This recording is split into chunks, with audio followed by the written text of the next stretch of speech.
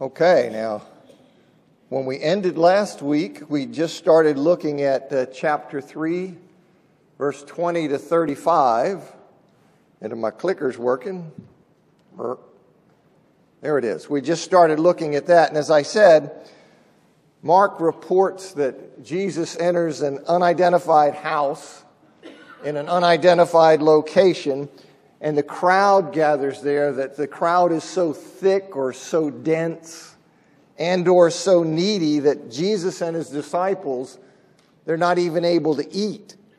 And when his family hears this, presumably that's what's motivating him. When his family heard that he was foregoing the basic human need of eating, they assumed that the, the pressure and the stress and the intensity of his ministry that it had all come together and he'd suffered some kind of mental breakdown.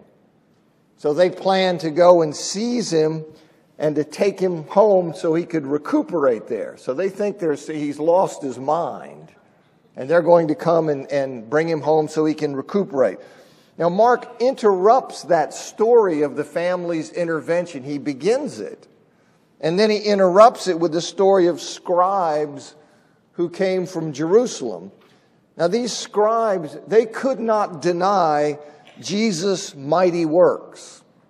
You see, that was a loser's move. You couldn't come in because everybody knew he had done mighty works. So you, you, you weren't going to get any traction coming in denying that. So they couldn't deny he'd done any mighty works. But given that he did not fit with their traditional notions of piety, I mean, hobnobbing with sinners, not fasting, not observing the Sabbath in the way they thought he should.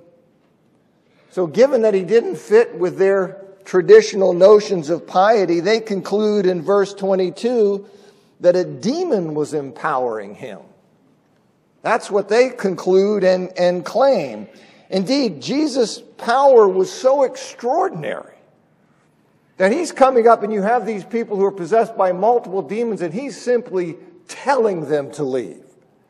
His power is so extraordinary that they say he's possessed by Beelzebul, the chief of demons, Satan himself. And that's why the demons listen to him, because the chief demon is inhabiting Jesus. That's the secret of his remarkable exorcisms, is that he's inhabited or controlled by Beelzebul. Now, as a footnote, the majority of scholars think that the, the name Beelzebul, that it means Lord of the dwelling. And the dwelling there is, it's either the house of demons or the house of a pagan god, but either way, he's the chief demon. It's another way of referring to Satan. In verses 23 to 26, Jesus shows them the implausibility of that accusation. They're saying, no, the reason the demons are so responsive is he's being possessed by the chief demon. And Jesus shows them the implausibility of that accusation by pointing out that such serious infighting within Satan's household, well, that would spell its doom. If you've got that kind of internal warring going on, in Satan's own household. Well, that would be the end of that. And then in verse 27, he gives the correct explanation of his exorcisms. You see, they're trying to say, no, no, no, see, it's just because he's controlled by this, by Beelzebul, by the chief of demons. That's what's going on now. Verse 27, he gives the correct explanation. He says, But no one can enter a strong man's house and plunder his goods unless he first binds the strong man. Then indeed he may plunder his house.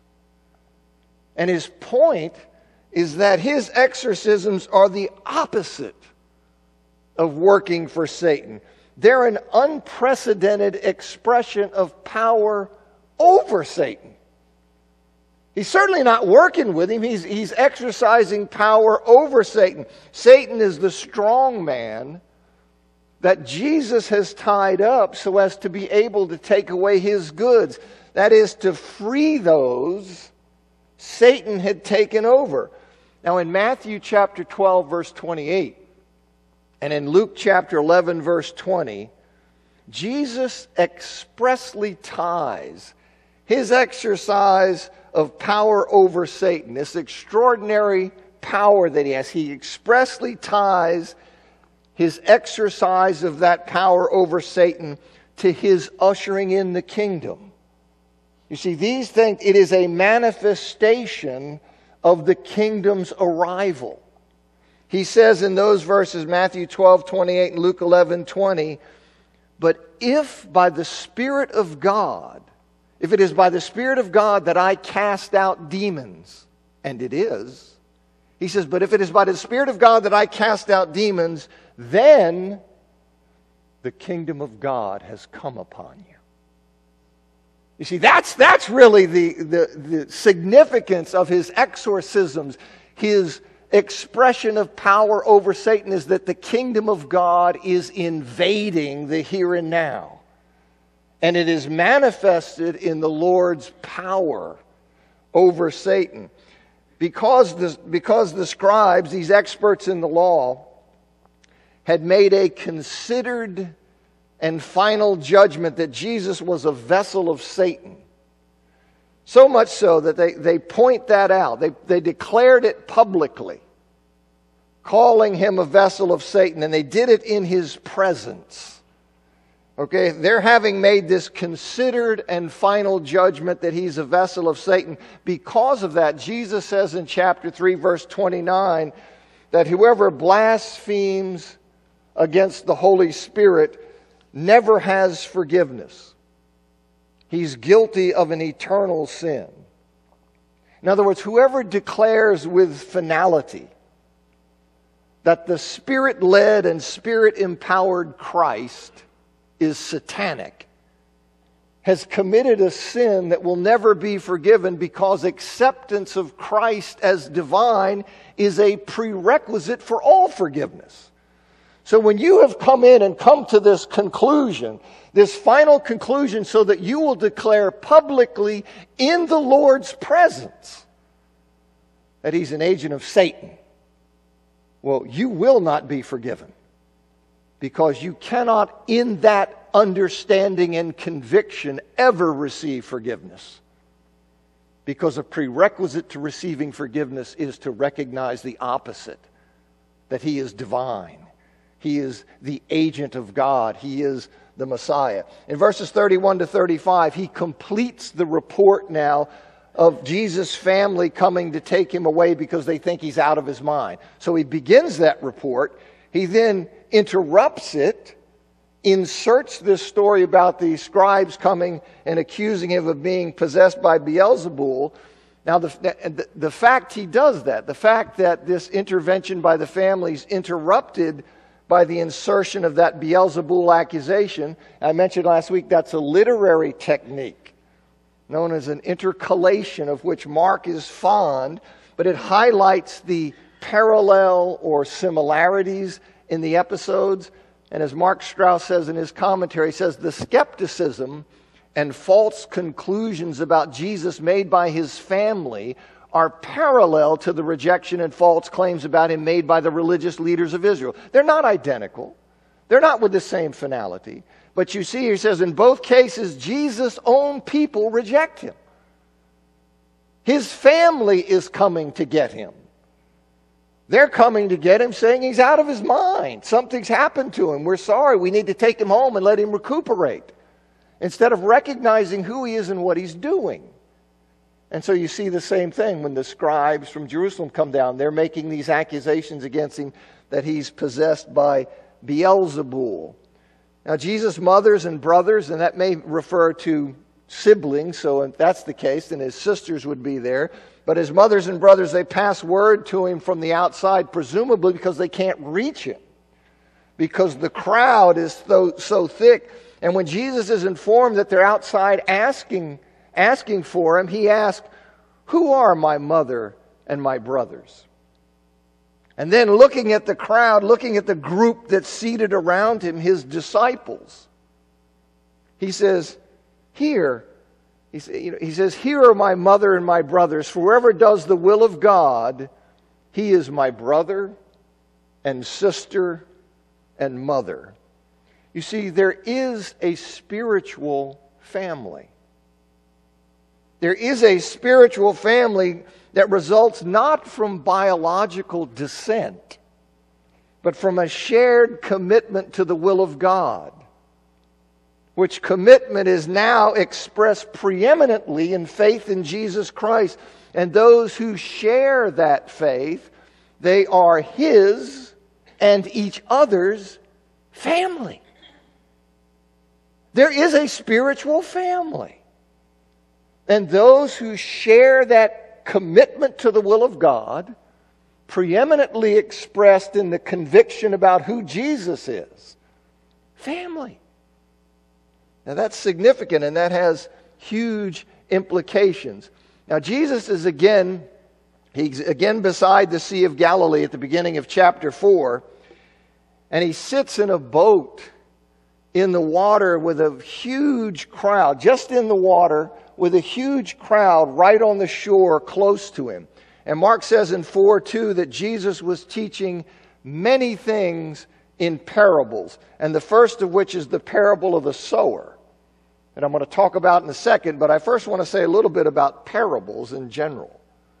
Now, the English word parable, it's taken from a Greek word parabole, as you can see, parable, parabole. It's taken from that word, but parabole, like the Hebrew and Aramaic counterpart, it has a much broader meaning. Parabole in the Gospels has a much broader meaning than what we typically associate with parable. It's a broader meaning that, in addition to what we would call parables, Parabole in the gospel, it covers sayings that we would classify as proverbs, maxims, riddles, and even comparisons and contrasts. The parables of Jesus, when you try to, what is a definition of, of the Lord's parables? I think they can best be defined as a word picture. Okay, so you, a, a word picture of a familiar but fictional or imaginary circumstance that's given to communicate indirectly by analogy truth about the hearer's circumstance so as to motivate the hearer to act on his or her new insight. Now, I think that's a good definition of the Lord's parables. Now, that's more detailed but I think more adequate than the popular definition earthly stories with heavenly meanings. But this is what the Lord's parables are. And inherent in that definition is the notion that the purpose of parables is to communicate effectively. There seems to be confusion about this. The purpose of parables is to communicate effectively that Jesus intended to communicate by parables, it's obvious from the fact he told them. You see, rather than remaining silent, and this intention that, it, that he intends to communicate by them, that intention is confirmed by his urging people to hear what he is saying through the parable. As he does in Matthew chapter 13, 9, and Matthew 21, 33, and his questions to the disciples in Mark chapter 4, verse, th- verse 13.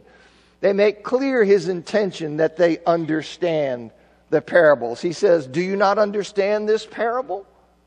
How then will you understand all the parables? He wants them to understand the parables.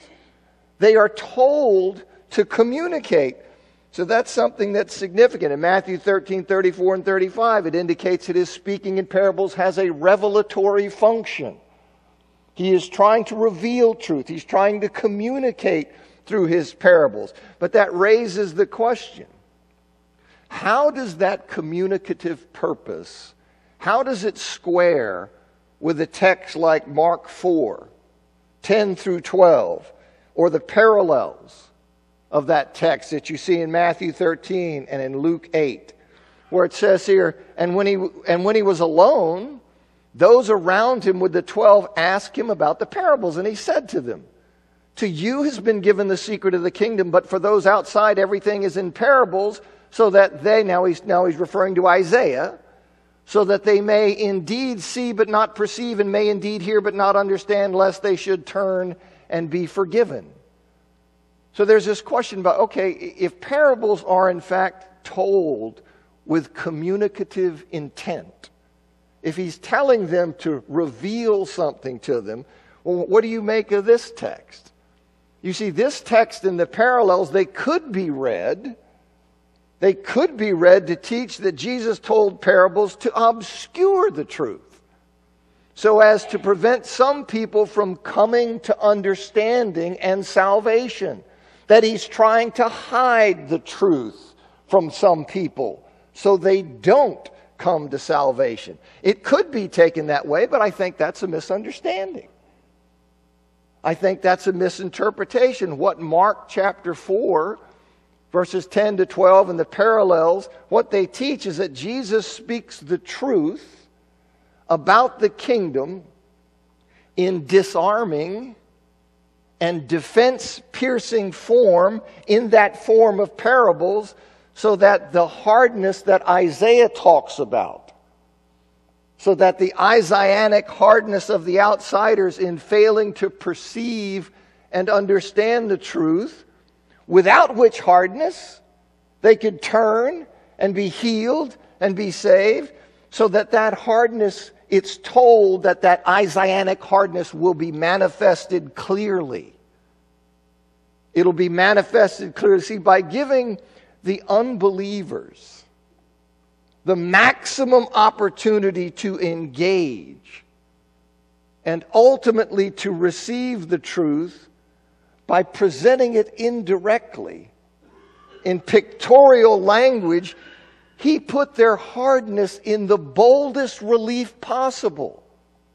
You see, by, by telling them in parables and giving them this indirect pictorial language that optimizes their ability to your ability to pierce their defenses.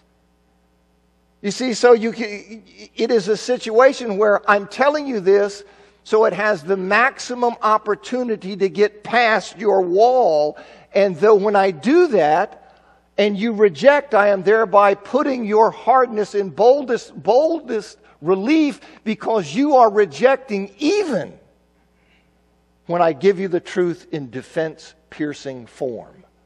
I think that's what he's telling. He's saying that by doing this, I am showing that or putting that in the, in, so you manifest your hardness. It's a testimony against you that you reject even when presented in this way. And the report of, of his stated purpose, how does that function in the gospel? It functions in the gospel as encouraging the readers to receive the message. You see, because to reject the message that's being presented in the gospels, to do that is to show oneself to be among the hard hearted. And so that's why I think it's in Mark. Now, that parables are intended to communicate effectively doesn't mean that parables are immediately or easily comprehended. They are not. That's not what that means. The disciples found some of Jesus' parables puzzling. And they had to go and ask him for explanations. The effectiveness of a parable, it sometimes depends on the meaning not being apparent on the surface. You see, to, to, part of its effectiveness and how it operates depends on that kind of veil so it can get past your defenses. And so it's not always immediately obvious what's going on. You see, that's part of how it, it draws the person in. Is that it's, you know, that's why it's effective. If you just come out and blast somebody, and tell them straight up so they hear it right away, well, then they're. But if you tell them a little story and then it comes in in the back door, and then they realize, oh, okay, well, you see, you got past it. So now they can hear it. And I think that's what's going on in the parables. They communicate effectively in their ability to bring a message home, not in their ability to convey information directly or patently. That's not how they function. Let me read to you Klyne Snodgrass in his just wonderful book on parables titled Stories with Intent, a comprehensive guide to the parables of Jesus. He says, Parables are not always obvious and self explanatory. But even when enigmatic, their purpose is to enlighten. The very uncertainty of their reference is part of their appeal and often the means of their effectiveness, but they are not meant to obfuscate. And he says he thinks an apt summary he like paraphrases Mark 4:22, an apt summary of the purpose of the parables. Nothing is hidden in parables except that it should be brought into the open. So that's how he looks at it. Robert Stein, in his chapter in Longenecker's book, The Challenge of Parables, he says, through a parable, Nathan was able to discuss the issue of David's murder of Uriah and his adultery with Uriah's wife for the reality part of the parable was only recognized after the parable had been told and explained. As he says here, how far would Nathan have gotten if he had said to David, Oh, king, I'd like to talk to you about your adultery with Bathsheba and your murder of Uriah? I, I got a clue for you. He wouldn't have gotten very far. You just come out and say, I want to, I want to talk about it. He didn't do that. You see, he says the nature of a parable, however, enabled the prophet to speak to David about both his adultery and his murder, for disarmed by the innocuous nature of the parable, David was open to judge honestly the issue at hand. You see, so it, it was the optimum way of piercing his defense so that he could get the message. Now, if he had rejected that, what would that be doing? That would be holding his hardness of heart in boldest relief because he had rejected it even when presented in that indirect pictorial language. So that's what I think is going on in, in this thing about, uh, you know, because I just see it, I hear it sometimes. Well, the idea that, well, he's trying to hide the truth. I don't think that's right. I think he's delivering the truth. Now, in 413, Jesus asked if they understand the parable of the sower.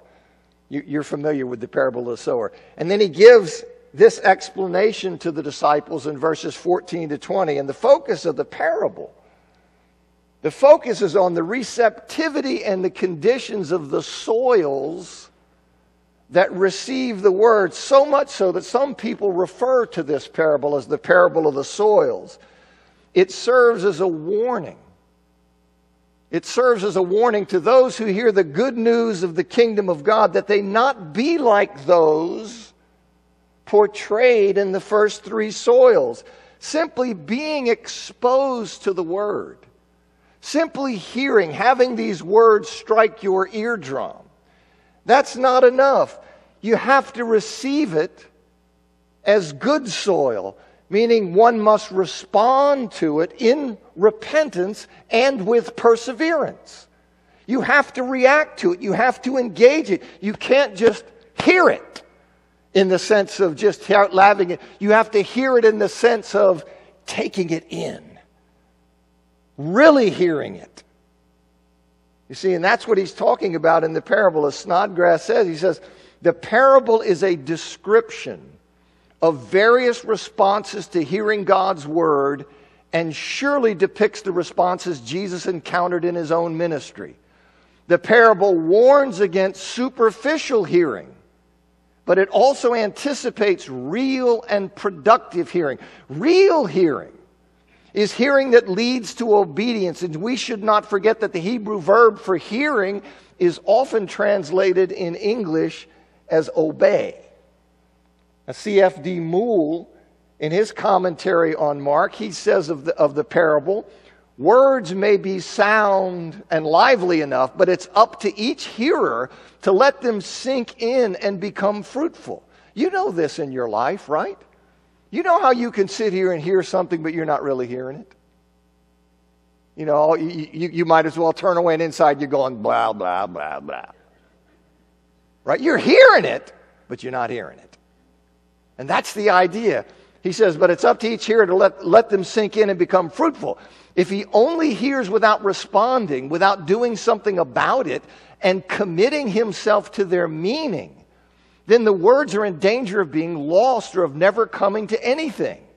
The whole story thus becomes a parable about the learner's responsibility and about the importance of learning with one's whole will and obedience and not merely with one's head. So, this is what Jesus is telling them in, in this parable. The parable of the sower, it's about how will you receive the message of the kingdom that I am announcing? Will you engage it? Will you absorb it? Or will you simply just hear the words? Then in 21, verse 4, 21 to 23, he gives the parable or analogy of a lamp on a stand. The lamp, a lamp's not brought. It's not brought in somewhere to have its purpose of providing illumination, to have that purpose negated by concealment. It's not brought in for that. Rather, it's brought in to have that purpose fulfilled by placing it on a stand. And the reason its purpose is fulfilled, rather than negated, is that things are hidden or concealed in order to be revealed or illuminated. See, hiding or concealing something is different than discarding it. It's different than throwing it away. One hides or conceals something. One who does that does so with the intent to retrieve it later. That's what hiding and concealing means versus discarding. I do it with the intent to retrieve it later, and thus does so with the intent to make that thing manifest at some future point, to reveal or to illuminate it at the future chosen time. Truths were hidden by God, ultimately to be revealed by the light of His Word, the message of the kingdom of God that Jesus is bringing, that Jesus is proclaiming, that He is placing on a stand. So there were these truths that by Christ proclaiming the kingdom of God are now being illuminated. You don't conceal it, you put it on a stand as he is doing. Now, in Matthew chapter 5 15, Jesus uses this same imagery of people putting a lamp, a lamp on a stand instead of under a basket, but there his purpose is different. Okay, there the, imagery has a different purpose. There he's speaking of the need for Christians to live openly righteous lives that others may see our good works and give glory to God. That's not what he's doing here. That's not how, what he's talking about in Mark. Now, in, in 423 and also in verse 9, he calls those who have ears to hear. He calls those who have ears to hear, those who are sufficiently open to the truth to consider it fairly. You see, and that's crucial. Like I say, you can hear things but not really be open to them that you consider them fairly. I have often said that in, when John pursued me with the gospel, one of the things that happened was I said he got me to the point of objectivity, by which I mean I was willing to honestly consider is there anything to this? You see, that means by his persistence, he got me to have ears to hear. And that's what he's talking about, where you're open enough to consider these things. You'll, you know, you'll, you'll consider them fairly. And then he tells them to exercise that hearing capacity. Those who have ears to hear, he tells them to exercise that hearing capacity diligently. They need to hear the message in the sense of come to accept it. Hear it in that full sense. Internalize it as truth, not simply let it bounce off your eardrums. And then he gives the parable or analogy of the measure. In 424 and 25, he elaborates on the command that they hear him. Those who have ears hear him. He elaborates on that, that they put effort into the process so that they receive the message. He commands them to hear. What do you mean here? I'm hearing it. No, no, no. There's an active side of this. You have to engage it. And his command to do that, he elaborates on that command that they put effort into this process so that they receive the message. And he commands them to pay attention and he encourages, encourages them to do so with a proverb. With a proverb. See, with the measure you use, it'll be measured to you. Wrestle with this. Put effort into this. Don't just hear it and be lazy and not engage it. Why? Because with the measure you use, it'll be measured to you. And still more will be added. And the sense of that proverb is essentially you get back what you put in. Put in something. It will pay dividends. Put in effort. Don't be lazy. Don't think, I don't care about this stuff. I already know this stuff. I already know. Bonk, bonk, bonk. Grab it. Wrestle with it. Engage it. Put effort into it. And it'll pay back. It'll pay back. As Mark Strauss says, he says, those who take the time and energy to hear and respond to Jesus' kingdom teaching will receive back their investment and even more. And the even more he fleshes out in verse 25. It refers to the reception of divine revelation. As Strauss says, he says, Those who hear and respond to the message of the kingdom of God, those who have ears to hear, who are sufficiently open that they can consider it fairly, and put effort into that hearing, you see, hear and respond to the message of the kingdom, they will receive even greater revelation because when you do that, you don't stay in the same position. When I now receive this revelation, I now move to this perspective and I'm, I'm open and available for greater revelation. Now I'm enlightened to this position and I'm open for more. When I shut myself off, I get nothing. I get nothing. So he says, Those who hear and respond to the message of the kingdom of God will receive even greater revelation, while those who reject what they've heard will be blinded even further. You see, as I keep turning away, turning away, turning away, I won't listen, won't listen, won't listen. Okay, well, I'm just being blinded willfully. He says the, the sayings thus parallel Jesus' explanation for why he teaches in parables in 411 and 12. To those who are responsive to Jesus' kingdom teaching, the parables provide even greater spiritual insight. But for the hard hearted outsiders who reject the message, they will look and look but not perceive, and hear and hear but not understand. Their spiritual blindness will only increase because they reject the message that is presented optimally for them and they just say, no, no, no, no. All right, well, there's something at work here. I don't want to hear it. That's what it is. You know, when the atheists sit here and they build all of these things and sit here and all this stuff, they simply don't want it to be true. And people have, people have asked some, look, if, if in fact Jesus Christ was raised from the dead, would you believe it? If that's a fact, no, I'm not, you know, I'm not going to mess with that. You see, there are implications of these things, and we all know that intuitively. We know that if you come to the conviction of who Jesus is, okay, well, that's a whopper, baby. or Seinfeld would say, that's a big matzo ball out there. You see, that, that has implications. So I'd rather not. That's why people are so resistant to talking. They don't want to engage it because they know down the road, if I start looking at this, uh oh, I don't want that. All right, we'll see, what is that? That's just hardness of heart.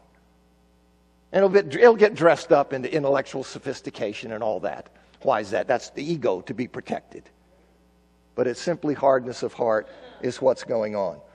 Now, Jesus tells them in, in, four, in, in chapter 4, you know, I've mentioned that, that Jesus' teaching about the arrival in his ministry of the kingdom of God, well, this raised questions.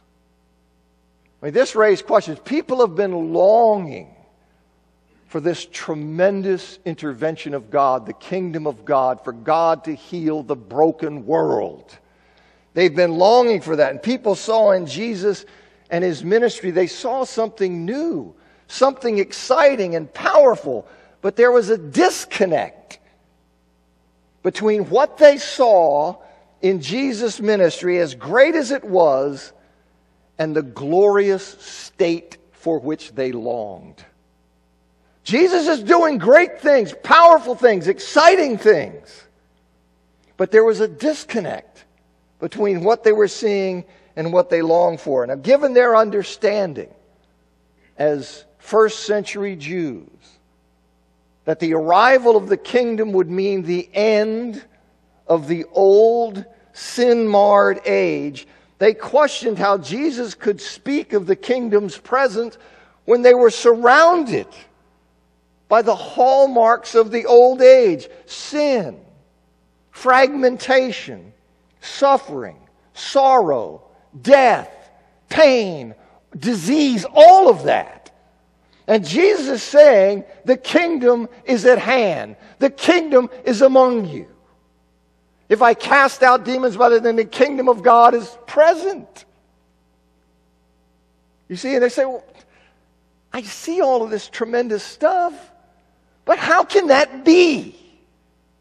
When I still see the hallmarks of the old age and the old order. And one of the parables in which Jesus addresses that problem is the parable of the growing seed, which occurs only in Mark chapter 4, verses 26 to 29 It says, And he said, The kingdom of God is as if a man should scatter seed on the ground.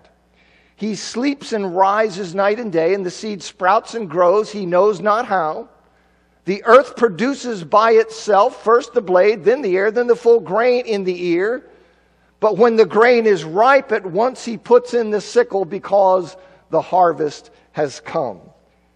Now, the kingdom of God the kingdom of God is analogous to the entire scene narrated in the parable. In the parable, there's an initial sowing of seed that without any visible cause, that is by the hand of God.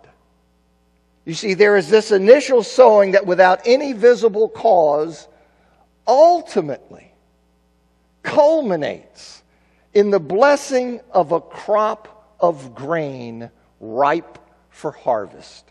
So I have this sowing, and it culminates in what? This tremendous blessing of a crop of grain that is ripe for harvest. It culminates in an expression of the sown seed that looks quite different from its initial state. A newly sown field. A newly sown field looks very different from a harvest, a crop that's ripe for harvest. And it culminates in that, and it's something that looks very different. The kingdom of God is like that.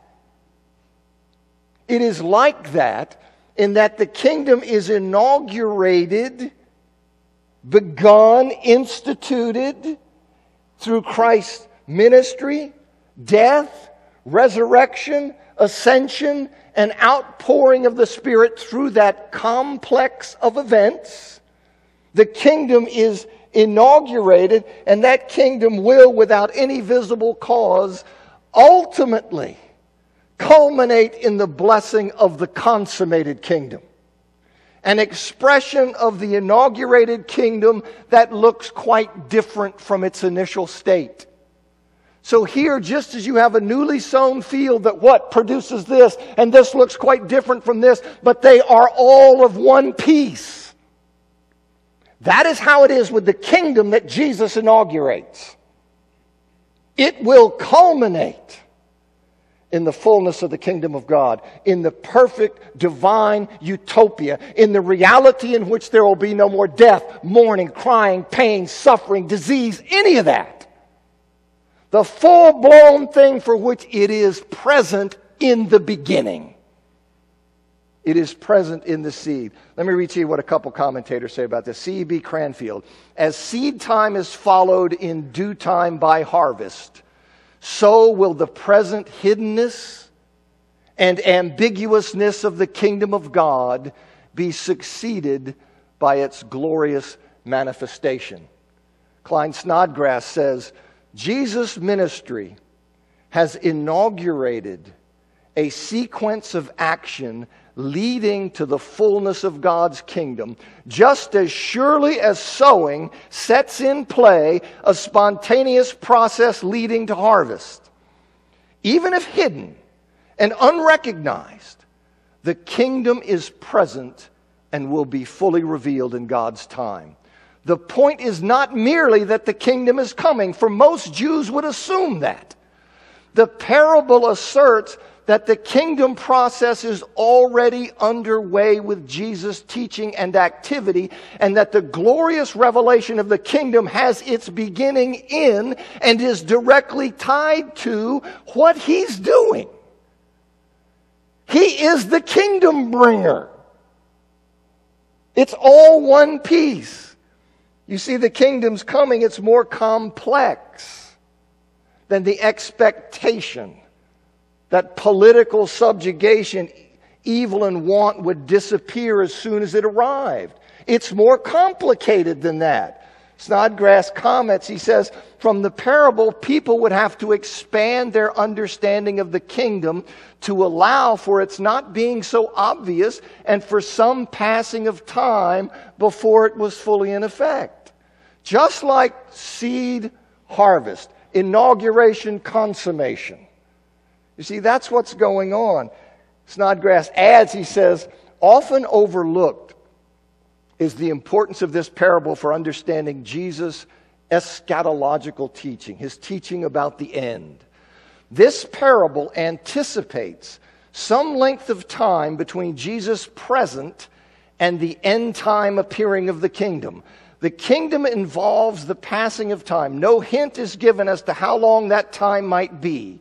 But this parable should at least slow down any overemphasis on a soon appearing kingdom. This and other parables assume at least two stages of the kingdom a time of sowing and growth and a time of harvest. There is an inauguration when we are in the overlap of ages. Then at his return, there is the consummation when all that is contrary to the eternal vision of God is stripped out and all that exists for eternity is the perfect eternal vision of God. See, that's what Jesus is talking about. Now, as it's God who, in ways unknown to man, produces the precious harvest from something as subtle and unobtrusive as a seeded field, so it's God who, in ways unknown to man, will produce the new heaven and the new earth from something as seemingly insignificant as the ministry of a Jewish carpenter in a backwater of the Roman Empire. Where's the kingdom of God being ushered in? Where's this great thing going to happen? Rome? This little nowhere out of the way place. Unobtrusive. People look at it, can't be. Well, you'll see. What about the mustard seed? We'll talk about that next week. Tiniest little thing huge thing. You see, that's, that's the point that he's after. Snodgrass, he says, the parable then is optimistic.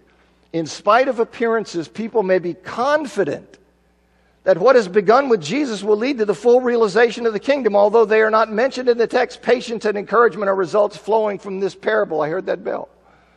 But do you see this idea that it is God who is at work in this?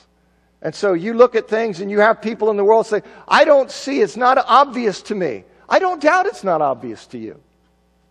I don't doubt it's not obvious because we live in this overlap of ages, but a time is coming when it's going to be obvious to Ray Charles. Okay? It's going to be obvious. And it's obvious to those who are participants, who have surrendered to this work of God, and we see it. We see what God is doing in this world and what He's done and what He's launched in the life of Jesus Christ. Next week,